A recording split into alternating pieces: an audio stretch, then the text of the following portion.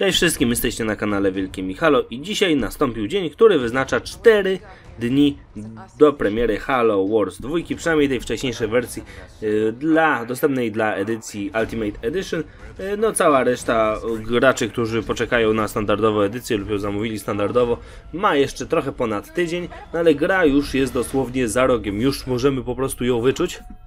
Więc czas na drugi przedpremierowy vlog, w którym sobie pogadamy o tym, co oczekujemy y, od Halo Wars 2. No wiadomo, chcemy, żeby była dobra gra, żeby to było dobre Halo, żeby rozszerzyło ten cały kierunek tej odnogi serii, żeby dało nam dobrą historię na poziomie, żeby zmyło jakiś taki niesmak po Halo 5 czy cokolwiek. Y, no ale teraz zagadamy o tym właśnie ja, opowiem wam co ja uważam. No i oczywiście y, oddaję wam tutaj pole do popisu w komentarzach poniżej.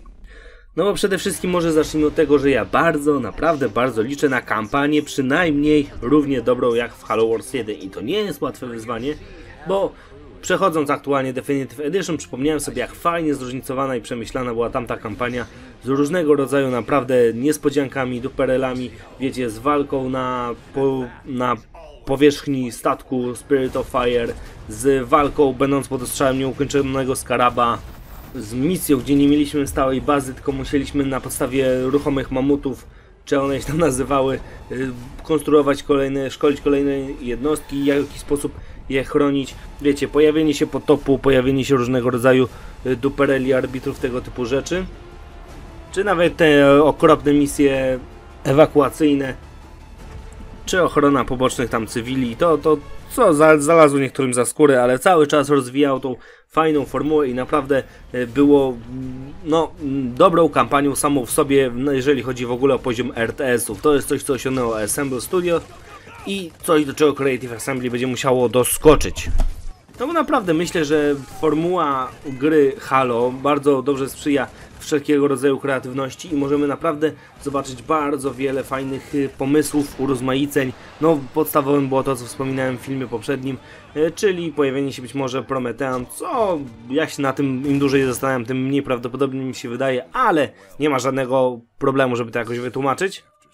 No i oni by byli taką niespodzianką w singlu, jakim był Potop w pierwszej części. No i to jest coś, co naprawdę bardzo liczę, że będzie jakaś niespodzianka w singlu, która odmieni yy, formułę yy, całej kampanii i że nie będzie to standardowa walka UNSC kontra Covenanci, tylko coś się jeszcze pojawi, coś naprawdę takiego fajnego, coś da kopa, jak to był Potop w Halo 1, czy w Halo Warsach jedynce w ogóle, czy w Prometeanie w czwórce niekoniecznie to musi być nowa rasa, ale coś, co mm, wpłynie bardzo na samą fabułę, no i będzie też gameplayowo fajnym rozwiązaniem. No najprostsze by było trzecia rasa, która będzie tylko i wyłącznie dostępna w kampanii, no bo nie liczymy chyba, że w multiku pojawi się coś tak nagle ale że po prostu się będzie coś w, te, w, tym stylu, co wpłynie na obie warstwy gry. Na to naprawdę liczę i tego będę szukał grając e, za niecały tydzień w Halo Wars 2. No a skoro wspomniałem już o multiplayerze, no to liczę bardzo, że no dodanie y, mm, wersji na pecety, myszy, klawiatury, yy, wszystkiego tego, co powinno być dostępne w normalnym RTS-ie, sprawi, że jednak będzie można przysiąść więcej nad balansem tej gry, że będzie to lepiej trochę przemyślane, no bo jeżeli widzieliśmy statystyki z bety, to wychodziło na to, że UNSC i Covenanci mają całkiem niezłe szanse nawzajem yy, na zwycięstwo. No a jak było w jedynce, to wszyscy zainteresowani wiedzą, no wszyscy grali UNSC, a granie Covenantami praktycznie wiązało się z zawiązaniem sobie stryczka na, na szyi.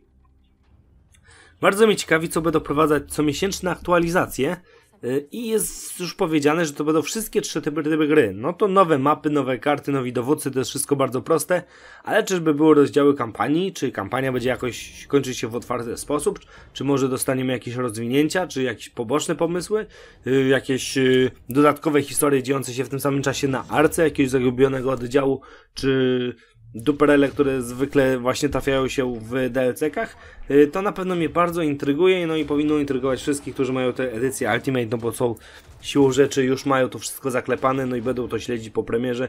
No i bardzo liczę na przynajmniej tak fajnie rozbudowaną, przemyślaną y, kampanię wsparcia popremierowego, jak to miało miejsce przy okazji piątki. Bardzo bym chciał, żebyśmy po Halo Warsach y, dwójce żebyśmy dostawali kolejne jakieś takie dodatki co miesiąc, kolejne trailery fajnie zatytułowane, fajnie prezentowane, żeby to było jakoś w jakiś sposób atrakcyjne i żeby był właśnie ten taki mm, dość przyjemny obowiązek wrzucenia raz na miesiąc e, na kanał trailera kolejnej aktualizacji i jarania się o co tam zaraz e, dojdzie do naszej gry, do czego siądziemy i co sobie zobaczymy.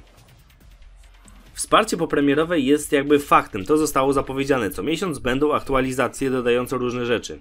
Ale jest też Season Pass i tu mnie bardzo ciekawi jak to będzie wyglądać, bo jak już wspomniałem przed sekundą, twórcy zapowiedzieli, że wszystkie trzy tryby gry będą dostawały dodatki. No i tu może się parę rzeczy może pozmieniać. Właśnie dodatki może będą tylko singlowe, albo tylko multiplayerowe, aktualizacje się skupią na innym jakimś trybie.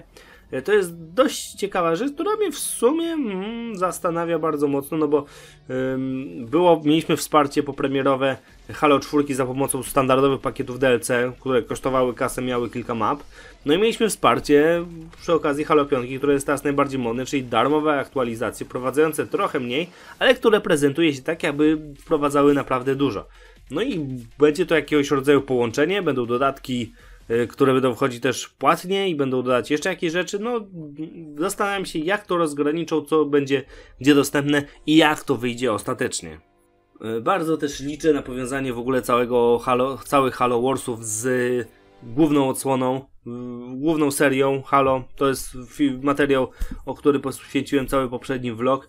No ale tu mogę w ramach oczekiwań powiedzieć, że bardzo liczę, że gdzieś pod koniec Halo 2 główna, główna seria i ta podseria się gdzieś zbiegną w jednym miejscu i w Halo 6 będziemy mieć bohaterów z Halo Warsów i być może w przyszłości w ogóle dostaniemy kolejne odsłony FPS-owe duże, które będą się przeplatać spokojnie z Halo Warsami trójką. I, bo to będzie po prostu fajne, kiedy dostaniemy ko kolejne gry, które będą w jakiś sposób rozbudowywać to uniwersum i bardzo takie aktualne sprawy, które nie będą takie izolowane jak Halo Wars pierwsze, y, tylko właśnie będą kontynuować tą historię, pokazywać co się działo w tym właśnie czasie i to jakoś, żeby wpływało na wszystkie, żeby każda seria, każda gra wpływała na każdą inną. O. Takie coś bym chciał, na to bardzo liczę, no bo powtarzam, to myśl z poprzedniego vloga, że nie bez powodu obliczyli pojawienie się Spirit of Fire w pobliżu Arki do, dokładnie na wydarzenia zaraz po Halo 5. No i tak z typowo bardzo przyziemnego mm, poziomu powiedzmy y, weźmiemy sobie jeszcze na, na temat kwestię sprzedaży gry, no bo nie spodziewam się, żeby gra się sprzedała jakoś super, może będzie jakaś taka y, brać pecetowa, która gra teraz te wszystkie RTS-y, które powoli wracają do łaski, która Yy, zainteresuje się Halo Warsami dwójką, tylko że mm, wciąż mi się wydaje, że głównie PC, PC-towcy to głównie będą musieli zostać zachęceni tym, że będzie to dobra gra, że dostanie dobre oceny, że będzie w jakiś sposób atrakcyjna, wspierana długo po premierze, no i że będzie warto w nią zainwestować tą kasę, że mm, dostaną fajne doświadczenie, wspierane długo, yy, zanim, zanim w ogóle, wiecie, skończy się ten potencjalny zysk i wszyscy sobie dadzą spokój. No bo na konsolach to się wiadomo całkiem nieźle na pewno sprzeda każde Halo, Halo Warsy 1, które tam też nie zawojowały e, rynku, no bo to jest cały czas, wiecie, strategia na jedną konsolę. Jest, dużo się mówi o tym, że wydawanie gry na jedną konsolę to jest bardzo duże ograniczenie zysku, wydawanie gry na taką niekoniecznie oczywistą platformę, to jest jeszcze większe ograniczenie zysków, więc być może po prostu uda się jakoś to wszystko zbalansować tą wersją PC-ową i może dlatego głównie ona powstała. Liczę, że może kiedyś dodadzą e, crossplaya, tak jak dodali do Gears of War 4, bo nie ma, jak dla mnie nie ma żadnego problemu, żeby kiedyś dodać obsługę myszy do Xboxa One, klawiatury już to wszystko obsługuje i po prostu parować e, graczy tylko wedle Y, kontrolerów, a nie według platformy. No i to jest coś, co, czemu się będę bardzo przyglądał. Microsoft chyba liczy na jakąś niezłą sprzedaż y, Halo Warsów 2, albo to po prostu jest Halo, po prostu jest ekskluzyw, to jest gra, którą muszą dopieścić, muszą jakby wypchnąć, no bo całkiem niezłe, y, niezłą kasę pakują w promocję tej gry, dużo bardzo środków na to idzie, no i prawdopodobnie znowu dostaniemy przerewelacyjne cutscenki od mistrzów tutaj y, w ogóle całej branży, no bo to co widzimy w trailerach wygląda oczywiście rewelacyjnie i to są sceny, które bardzo sugerują, że są po prostu wycinkiem cutscenek z właściwej gry. Dobra, to by było na razie na tyle. Oczekiwania wobec Halo Warsów mam naprawdę bardzo wysokie.